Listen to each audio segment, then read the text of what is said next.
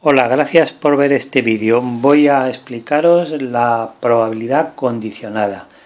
Se escribe de la siguiente manera. La probabilidad de que ocurra un suceso A con la condición de que ocurra un suceso B, eso es igual a la probabilidad de la intersección de los dos sucesos.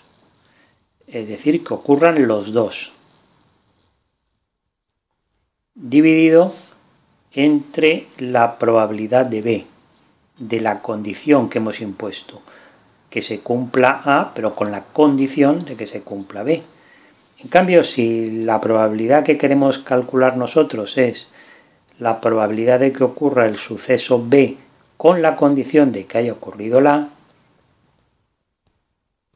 en ese caso la fórmula será el numerador igual, porque la probabilidad de A intersección B es lo mismo que la de B intersección A, pero en el denominador deberemos de poner la probabilidad de A. Siempre en el denominador la probabilidad de la condición. Bueno, a partir de la definición de probabilidad condicionada, nosotros podemos definir, vamos a definir los sucesos dependientes e independientes. Un suceso.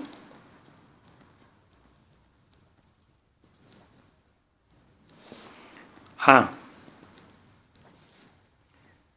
Depende de B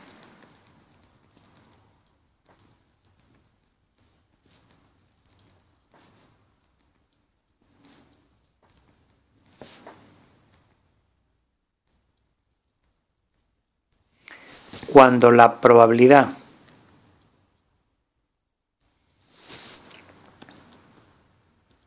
de A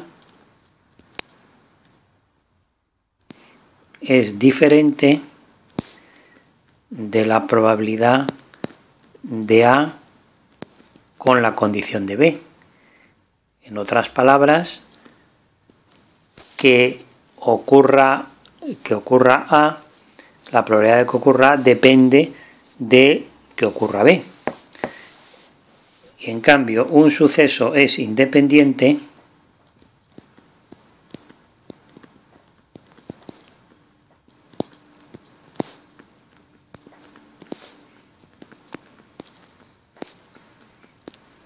suceso A independiente de B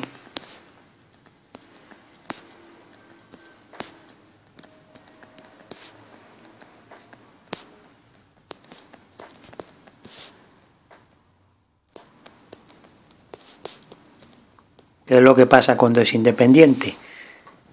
Pues que la probabilidad de A es igual a la probabilidad de A con la condición de que ocurra B. Como no depende de ello, pues será lo mismo.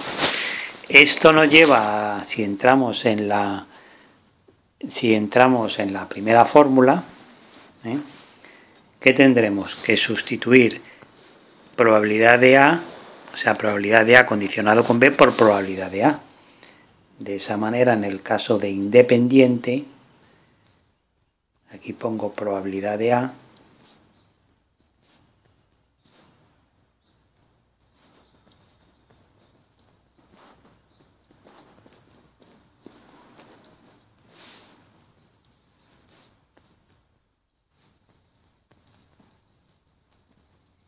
Si ahora despejo, tengo la condición de independencia. Si la probabilidad de la intersección es igual al producto de las probabilidades de los dos sucesos,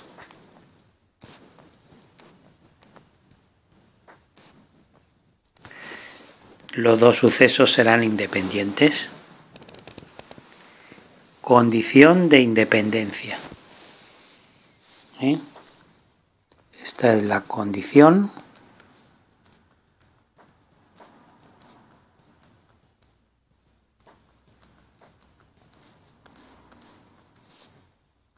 de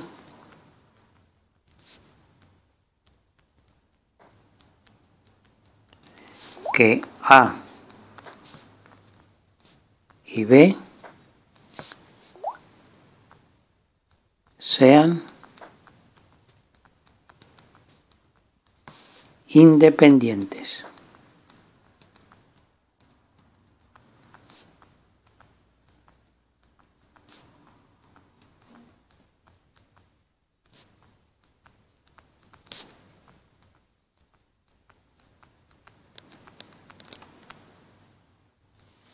Por lo tanto, resumiendo, cuando tenga que hacer la probabilidad condicionada, aplicaremos una de estas dos fórmulas. Si es A condicionada con B, la primera. Y si es B condicionada con A, la segunda. Y luego, si yo tengo que ver si dos sucesos son independientes, yo lo que tendré que comprobar es si la probabilidad de la intersección es el producto de las probabilidades. ¿Que lo cumple? Son independientes. ¿Que no lo cumple porque son distintos? Pues entonces son dependientes.